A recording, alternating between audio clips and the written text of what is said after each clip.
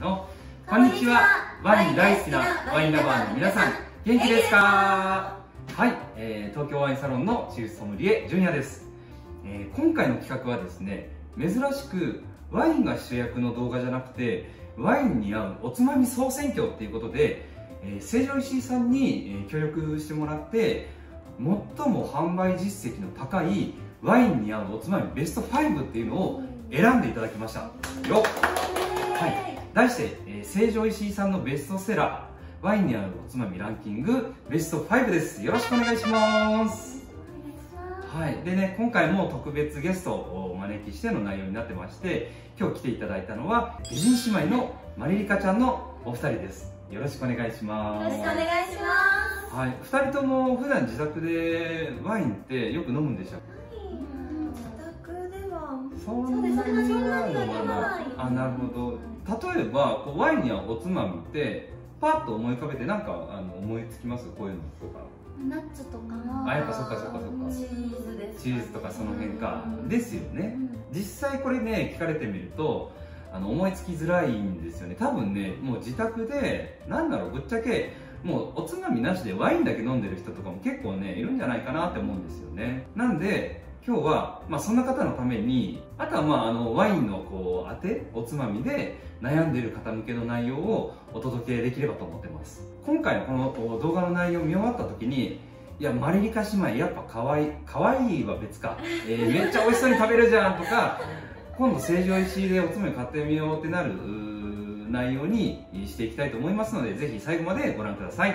それでは早速いってみましょう。まずは、えー、第5位えー、これ鉄板ですね、えー、成城石井のミックスナッツ大袋。こちらですねアーモンドとかあのくるみマカデミアンナッツとかカシューナッツをあの塩分塩味を一切つけずにじっくりこういって仕上げてるんですよ、うん。まあ、個人的にはピスタチオが入ってればなおよしって感じだったんですけどこれね実は東京ワインサロンのオーナーあのナッツオタクって呼ばれてる工作さん曰くナッツの香りとかこうみずみずしさもちょうどよくて今まで食べてきたナッツの中で一番美味しいっていうふうに言ってたんですよ。これ楽しみですね。楽しみですね、えー、続いて第4位はこちら。じゃん成城石井手摘みの、えー、枝付きレーズン。これはね実は僕はすごく馴染みがあるんですよ。なんでかっていうと僕がまだ18歳くらいの時に広尾のワインバーで働いてたんですよ、うん、その時によくあのこの干しぶどうを買いに行かされてました。そうなんです。人気なんだね。そうなんです。なんでもう味はねこれもう保証済みです、ワインも合いますし、その時のお客さんがねよくウイスキーとかブランデーと一緒にあの楽しんでる方なんかも結構たくさんいらっしゃったんですよ、これも期待の一品ですね、はい。楽しみ。です。はい。続いていってみましょう、えー、第3位はこちら。はい。イタリア産の、えー、プロシュートクルーですねまあ、要はあの豚のもも肉を8ヶ月じっくり塩漬けにして熟成させたプロシュート。これもね絶対にワインに合いますよ。はい。多分ね、えー、ブルゴーニュとかニューワールドのピノノワールとか程よくこう酸味がある滑らかな飲み口の赤ワインに合うのかな。合わせてみるのがちょっと楽しみですね。はいいよいよ大詰めになってきました。第2位の発表です、えー、ランキング第2位はこちらですじゃんえマダガオリーバグリーンオリーブ。イタリア産の新漬けにされたグリーンオリーブですね。新漬けっていうと何だろう。あの日本風に言うと浅漬けっぽいスタンスなんですけど普通のオリーブって一般的なイメージとしてしっかりオイル漬けになってるじゃないですか。ふやふやと、このマナバーオリーブはグリーンオリーブは東京ワインサロンでもよく買わせていただいてるんですけどめちゃめちゃ歯ごたえあります。ザクザクっとして。うん、ですごいあっさりしてるからもうあのいくらでも食べれちゃうんですよ。もう気づいたら1人で20粒とか30粒とか食べてます。本当の話で。めちゃめちゃ食べます、えー、これもねそうそう。そうお得な感じ。これきっとマリリカちゃんあの好きなんじゃないかなと思います。ただねこれね1点難点としては種がね中にあるんでこうザクザクっと食べた時に口から種をポイって出すのがちょっと面倒くさいかなっていうのは、まあ、若干あるかなと思います。それでは堂々の第1位発表したいと思います。ワインに合うおつまみランキング。第1位はこちらです。じゃんフランス産の白カビチーズ、えー熟成ブリ16分の1カットです。これねすごいですよもう。成城石井さんに聞いたらもうダントツのぶっちぎりで販売実績があるみたいでもうぜひワインに合わせてみてくださいって言って絶賛おすすめされたんですよ。もうそうだよなと思いました僕も。だってもうワインって言えばチーズじゃないですか。でもね白カビチーズっていうと日本であの白カビってカマンベールチーズの方が認知度高いんですよ。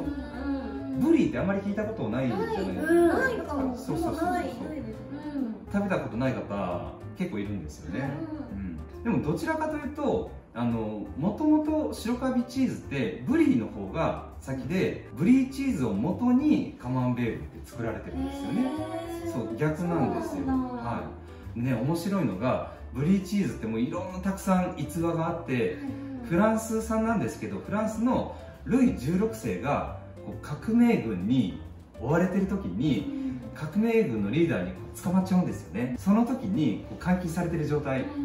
で「おい16世」まあ、16世で呼ぶのか分かんないんですけど「お前何が食べたいんだ」って言ってみろって言われた時に「お願いだからブリーチーズを食べさせてくれ」っていうくらいルイ16世はブリーチーズが大好きだったっていう逸話とかあるんですよ。あとね、まあ、ちょっとね長話になっちゃうんですけどよくあの長い会議を皮肉って揶揄される時に会議は踊るされど進まずっていう言葉あるじゃないですか。皇帝ナポレオンのフランス侵略を防ぐために開かれたフランスのウィーン会議でですね、その会議の晩餐会で各国のチーズの一番を決めようじゃないかということで提案が出たんですけど、まあ、何侵略されてる時に遊んどんねんって話なんですけど。そうそうそうそう。その中で一番に選ばれたチーズこそがこの白カビチーズブリーだったんですよ。まあねそうそうそうそうそういろんなこういう話をしながらワインと合わせてみると楽しみ方もこう広がっていくんじゃないかなと思います。それではマリリカちゃんお待たせしました。ちょっと説明長めになっちゃったんですけど早速、えーワインに合うおつまみベスト5実食していきたいと思います。ちょっと、えー食卓準備していきますので少々お待ちください。はいそれではお待たせいたしました。早速ですねおつまみランキングベスト5、えー実食していきたいと思います。こうずらっとはい。用意させていただきました。豪華ですね。映えますね。これインスタ映えするな。ありがたい。はい、せっかくなんで5位から順番に行きましょうか。5位どれだったかな、はい。はい。あそう。ナッツ。レーズン。ハム。オオリーブ。チーズ。この順番で。はい。はい。やっていきたいと思います。ちょっとワインともね合わせながらはいやっていきましょはい。うはいいただきます。いただきます。いただきます香ばしい。うん確かに。うん。やっぱ塩分があるから。うん。ねうん。ワインと合いそう。いろんな種類のナッツあるから。ありますね。これ工作さん的にやっぱナッツが美味しい方なんですか？はね相当うまいやつだね、うん。うん、成城石井のナッツは鉄板ですね。鉄板ナッツ。うん。なんか成城石井さんの中でもナッツ何種類かあるんですよ。だから間違わずに成城石井のミックスナッツ大袋っていうのを選んでください。もうねちょっと開けちゃったけど。ナッツと白ワイン組み合わせで。一緒にいただきます。ね、白ワインと合う。うん。合いますね。合いますね。シャルドネの方がいいかもな。うんこれソービニョンブランなんですよ。シャルドネ飲んであシャルドネもお願いします。シャルドネ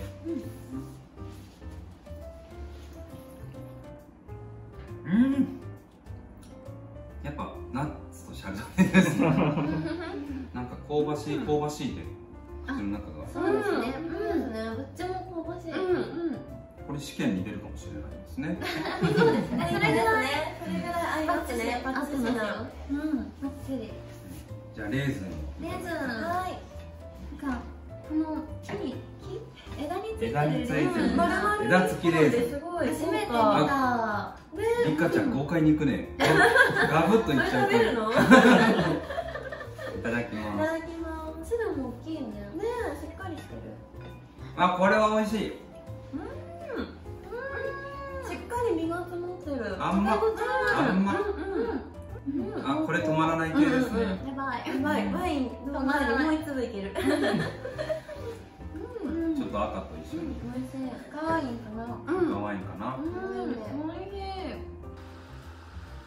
おおすごいめっちゃ。美これがマリアージュか、ね。これは美味しい。美味しい。美味しい。一番美味しい。さっきのまろやなんかコクのあるワインとすごい。ねうん。合うこの赤ワインも甘いから。うん。ねどっちも甘みがすっごい引き立て合いますね、これ、うん。もうやめとこうかな、止まらなくそうなっちちゃうハムちょっといきますね。ハム行きましょう。行きましょうあ塩気が好き。これはもうね、美味しいね、だってもう香りが美味しいもん。うんうん味がうん。味がしっかりつうん、しっいてるかりついてる。うん、なんかしょっぱすぎず本当にいい美味しさ。塩加減。うん、最高。うん、飲み物でもすぐワインをあ、いきたいきた。い。えー、これは迷うな。赤でいこうかな。食べやすい。お好きな方で。赤かな。どっちも試したいね。うん。まだたっぷりあるんで。美味しい。ちょっともう一枚じゃん。ね。これが3位なんだ。そう。うんレベル高いよね。レベルうん、高い。高い。いやもう成城石井の人見たらこれめっちゃ喜びますよ。なんか全部同率1位ぐらいの感じしそうなぐらい。うん癖がないよねうん、なんか臭みがないからうん。誰でも食べれそう。うん。うん、あー合う。ん、うん。美味しそうな顔するね二人。とも本当に美味しい。ううん。ん、続いて、えーオリーブ。第2位の。第2位の。オリーブを食べます。はい。これ前もワインサロン会でやってたんですけどめちゃめちゃコロコロ転がって床中に オリーブが転がる事件っていうのが起きたんですよ。確かにめちゃめちゃ可愛いもう豪快に手でいっちゃいますね。はいはいいただきます